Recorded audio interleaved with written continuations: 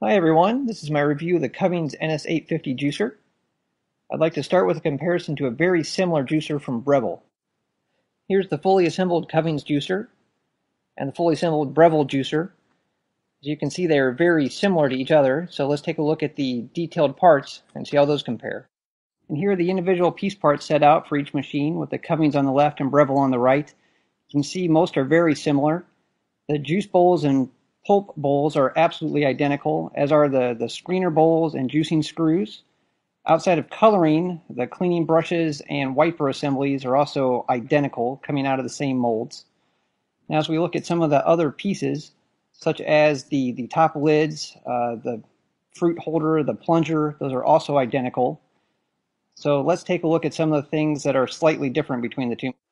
Looking at the two base units, they're also very similar to each other, very similar coloring and such.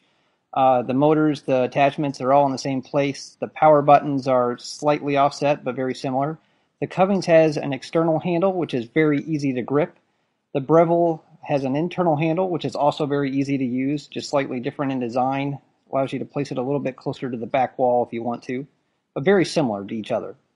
The juicing bowls are actually slightly different. Outside of just the tint, the location of the outlets for the juice and the pulp are located at different angles to each other.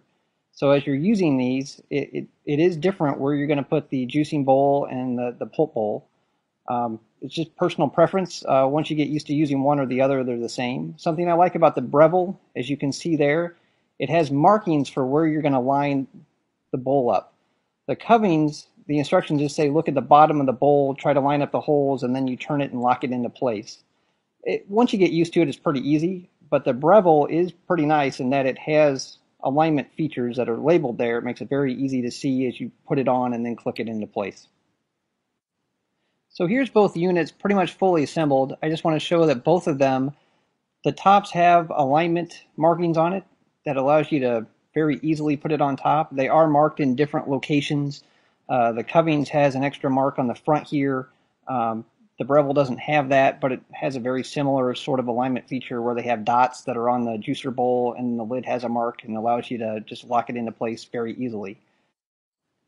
And after you get it all assembled, you just put the bowls in place, uh, line up the pulp bowl and then the juice bowl, and then you're, you're ready to go. Like I mentioned, the two different machines have the bowls in different orientations. The Kuvings has the pulp bowl at a 90 degree angle to you and the juice is a little bit behind it.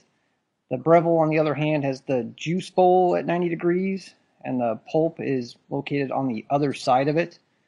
Um, either one works just fine. It's either personal preference or just whatever you get used to. Something that comes with the Kuvings that doesn't come with the Breville is this extra cleaning tool that's used to clean off the internal screener bowl. Uh, you just put it inside, move it around, it cleans off the mesh really easily. To be honest, though, I find that the cleaning brush that comes with both of them works very well and cleans pretty quickly. And finally, here's the juicer in action.